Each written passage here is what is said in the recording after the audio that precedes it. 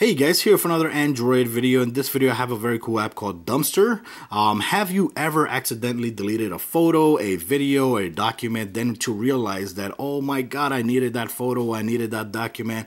Well, if that's you, guess what? This app is for you. It's called Dumpster. It's totally free. And like you see here, it's, it's empty. And it works right now as a recycle bin that you would find in your PC or the trash icon that you find on your Macs.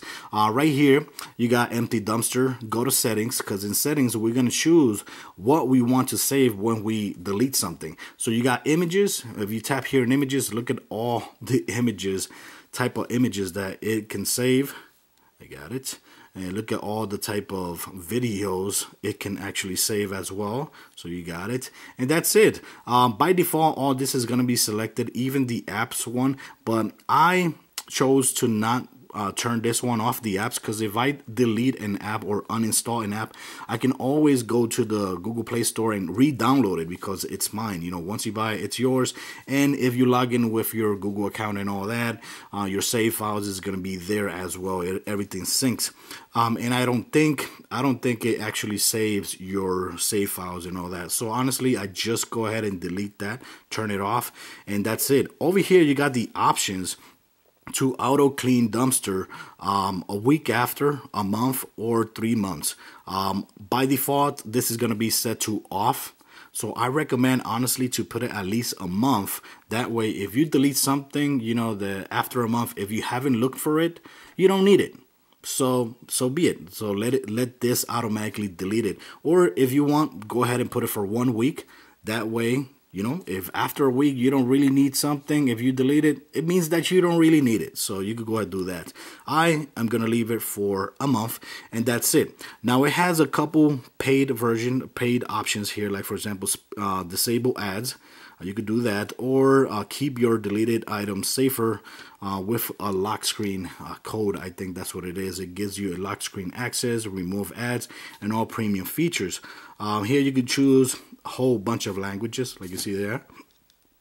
And that's it. After that that's all you got to do. Uh, once the first time you're going to use it it's nothing. There's nothing going to be there. So let's go ahead and start deleting and see how this thing works. Let's go to my gallery and start deleting photos and videos so you guys can see how it works. Let's go ahead here to my download folders because most of the times I keep things there I don't really want. Uh, here I got let's go choose that. Let's go and choose that. Let's go and choose that that uh, let's go and choose this right here. No, not that. Let's go choose this right here. Uh, let's go and choose a video. Let's go ahead and delete a video here. Let's see what I can delete here. I'm trying to look for a video I don't give a damn of. Let's go ahead and delete this video right here. This other video right here. And that's it. Let's go ahead and choose delete. Seven items will be deleted. Boom everything is deleted. Like you see there if I go back to my download folders to my download tab it's not there. So everything has been deleted from my gallery and all that. But now when we go to the dumpster let's go to the dumpster right here. Bump. There it is. There's everything right there. You got and everything's put here like per folder. Like for example I got files that I deleted from the download folder. Like you see there I got that if I tap right there, you can see the photos, everything that you deleted from the download folders. You can see there, and you have some info right here of the location where it was and uh, the size and everything. Um, over here, if I go back, go here, I can see the videos that I chose to delete. So uh, like you see, you're gonna have everything here by by file type. If you got documents, you're gonna have a different row of documents. If I tap right here, I can actually see the video. Like you see there, you can see actually see the video. If you want to delete it forever, uh, disappear it from your phone forever and not appear in this app, you could go ahead choose right here, delete, and it will automatically delete it forever. After you do that, it cannot be recovered. Um, same thing over here in photos. If you want to keep a photo, let's say, oh my God, I deleted this photo from Sting and I don't wanna I don't wanna recuperate um, you can click here if you want to share it because it gives you the, also the option to share as well uh, but I could go ahead tap right here. Uh, tap right here. Let me see. Okay. Go ahead. Restore all. I get no over here. Like you see here, it has like a check mark. Click right there. When you click that, it says restore one, delete one, or share one. Right now, I could go ahead and restore this one, and that's it. restored one item.